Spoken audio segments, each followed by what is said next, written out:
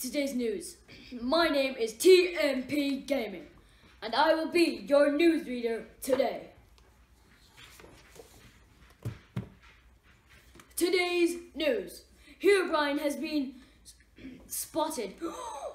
well, we think he has.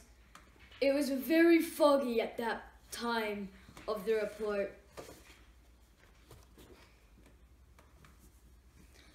Breaking news! Oh my goodness! This can't be true! Zoe the zombie fell from a high place. It's okay though. Our reporter said she had full health at the time. Reports are coming in that the nether is under attack. Pigmen are spawning everywhere.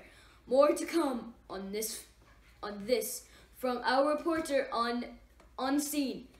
When when he gets there, hopefully he gets there soon. One second. Hello? You there yet?